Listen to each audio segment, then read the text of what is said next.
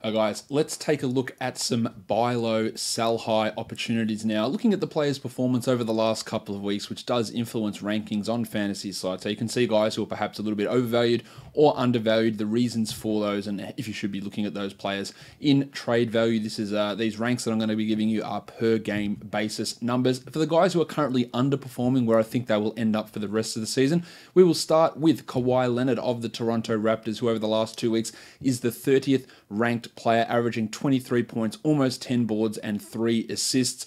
And mainly because his field goal percentage is down, shooting under 43% in those five games and hitting just 0.6 triples. This is a guy that you can normally expect to hit his threes at a much higher rate, 17% conversion on his deep balls in the last five games, which is dropping his points total, his threes down, and his field goal percentage. He's also not blocking many shots in that time, 0.2 yeah, the the games set out are annoying, and Kawhi is probably going to be sitting out one of this upcoming back to back as well. But the back to backs are going to ease off for the Raptors coming up soon, and I don't think this is going to be an all of the season type scenario for Leonard.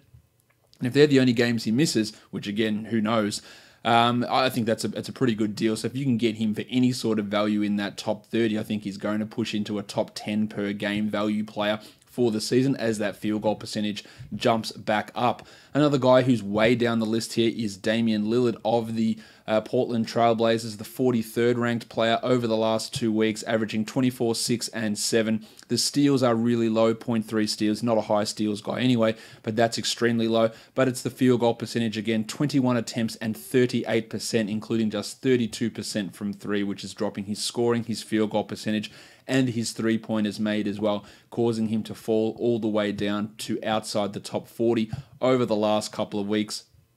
Yeah, those couple of brutal games, uh, when that one in particular against the Lakers, when the shots just wouldn't fall when he was dealing with that knee issue.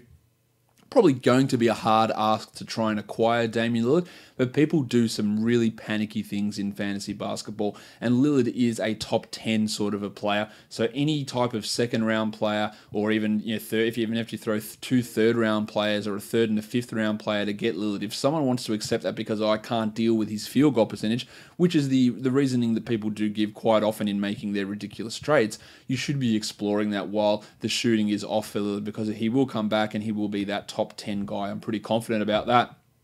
The 62nd ranked player over the last two weeks is Victor Oladipo of the Indiana Pacers, currently out with that knee problem. He's only played under 30 minutes per game over the last five. I guess, granted, that's because he had that five minute game in there, but a lot of his numbers are down on last season. His field goal percentage and free throw percentage, especially 37 and 74% over those last five games.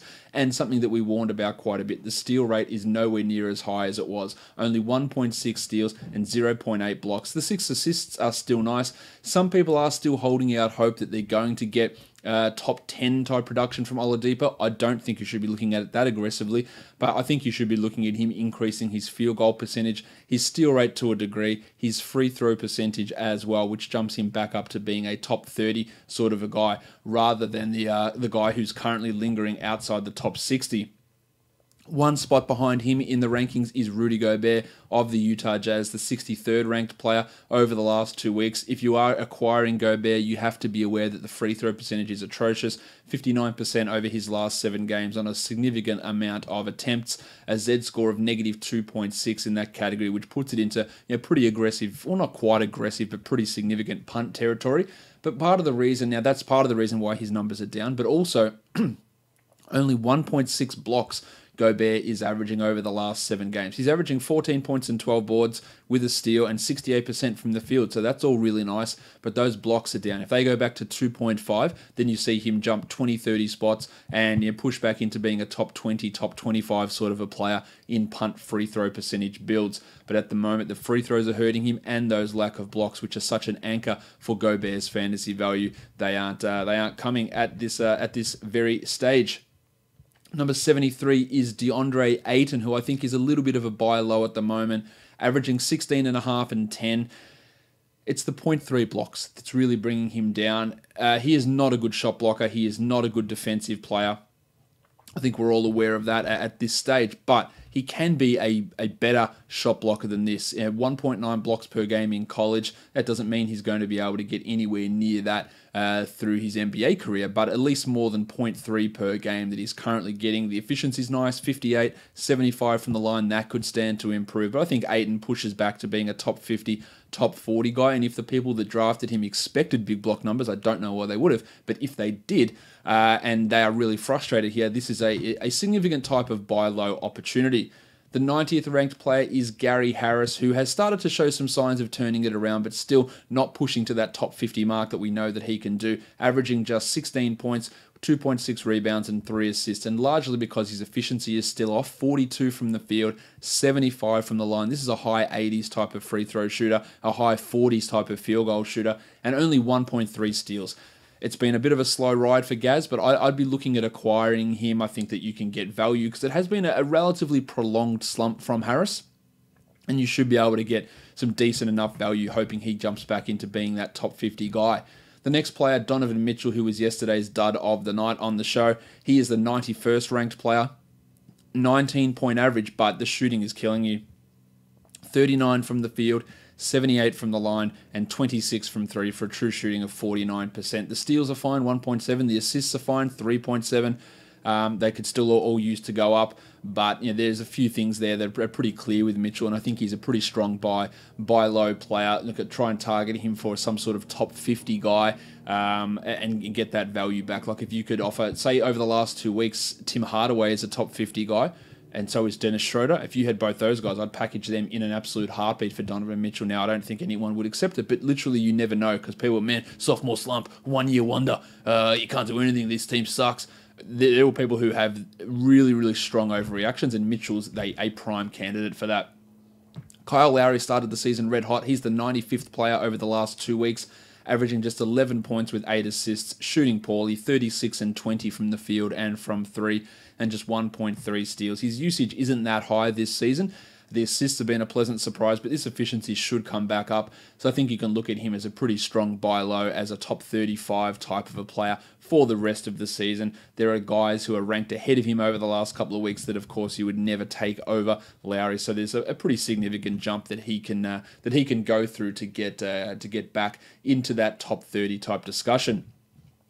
On the flip side, guys who are overperforming. Now, I love the table Montrezl Harrell, but he's the 18th ranked guy over the last two weeks averaging 20 and 8 with two blocks on 69% shooting and 71 from the field on 8 or almost 9 attempts per game. So there's uh, a few things there which seem a little bit out of whack. The 29 minutes may be high, the two blocks are, are high, the field goal percentages through the roof, as are the free throw attempts.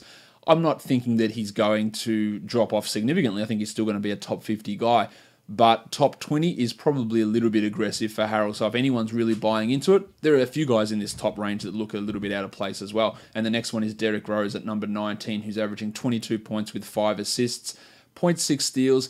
Uh, is you know, part of the issue there with Rose moving forward, but he's shooting unbelievably 52% from the field, including 60% from three and 94% from the line. His number one uh, statistical category so far in these in these two weeks is his uh, three pointers, followed by his free throws. Two numbers. He's hitting three threes per game. That and those 94% from the field, uh, from the line, and 52% from the field are due to f- uh. Now he is a must roster player pretty clearly, but expecting top 20 numbers from Rose moving forward is probably a little bit unfair. Aaron Gordon is the 22nd ranked player. I think that some of his numbers are due to regress. Now, not necessarily too big. He can be a top 50 guy, but he's averaging 19 points with seven rebounds. The four assists are high, the 54% from the field, and the 40% from three. We've seen this from Gordon so many times. He goes on these little hot streaks, and then he goes back and shoots 28% from three for three months. Now, I do think he will improve in that area, but will he be able to uh, maintain this sort of a level? I'm, uh, I'm pretty doubtful. Number 25 is Bojan Bogdanovic of the Indiana Pacers, averaging 18 points with almost three triples. Know, his rank here is almost solely influenced by the insane shooting 61% from three, 57% overall, and 94% from the line. His two biggest categories are his threes and his field goal percentage. And of course, when the threes drop off from 61%, and, and make no mistake, they will, then the field goal percentage drops, the threes drop, and he probably tumbles 80, 90 spots in the rankings uh, just by those two numbers alone. He's averaging 1.5 steals, which is pretty high for Bogdanovic, and he's fine to roster at this point, but he doesn't have the value of a top 25 player. Brookie Lopez at number 34, we've all been impressed with what he's done, but his numbers are fueled by four threes per game over the last seven games, hitting those at 49% with 1.7 blocks and 14 points per game. Hasn't missed a free throw, hasn't taken many. I think he's only taken three free throws over that time, but it's that insane uh, con- contribution in the three pointer category. Now, he's probably going to drop back down to being a 60 to 80 type of guy, but not a top 35 player. I referenced him early, Dennis Schroeder at uh, number 48, averaging 17, 5, and 6 with two steals. Russell Westbrook is back, so the minutes are going to dip, the usage is going to dip, the assists are going to dip, and he'll probably fall outside the top 100. People may still buy into it. I've seen people throwing trades around in the last 12 hours where they're getting value back for Schroeder, so you should be exploring that. Number 74 is Cory Joseph. Um, 29 minutes per game. His value there is fueled by the fact that he is getting 2.2 steals and shooting 52% from the field, numbers which are far from sustainable for Joseph. He's probably not really a, a sell high because nobody rosters him and nobody's going to buy into it. But just if you're looking at rankings and you're seeing this guy there, don't fall into it too much, especially with a really strong play of Aaron Holiday and the presence of Tyreke and Daz Collison. Joseph isn't going to be able to keep up the 29 minutes or that high efficiency or the high steal rate. The last guy we talk about is Al-Farouq Aminu.